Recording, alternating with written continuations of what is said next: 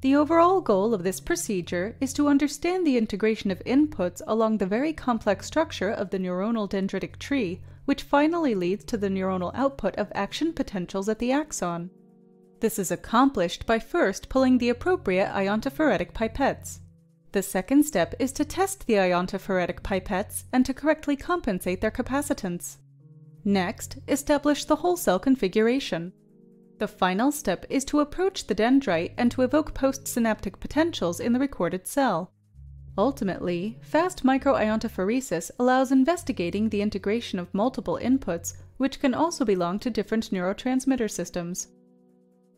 This method can help to answer key questions in the neuroscientific field, like how inhibitory and excitatory inputs are integrated, and under which conditions this can lead to neuronal output.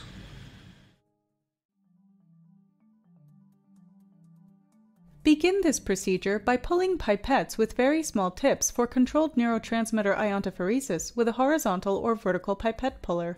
Small fine tips can be achieved with several pulling steps. However, the tip should still be rigid enough to penetrate into the tissue. Next, set up the iontophoretic amplifier. To test the pipette performance in a chamber without tissue, fill the pipette with neurotransmitter and dye-containing solution.